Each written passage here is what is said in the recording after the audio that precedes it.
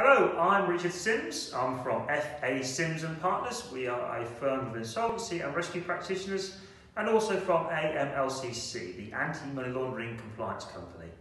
We're looking forward to seeing you in September in Manchester for the ICPA Practice Evolution Conference where we'll be talking about anti-money laundering. We'll be updating you on OPBAS, AML um, GAS and helping you to use good compliance to manage risk for your practice. Look forward to seeing you then. Thanks very much.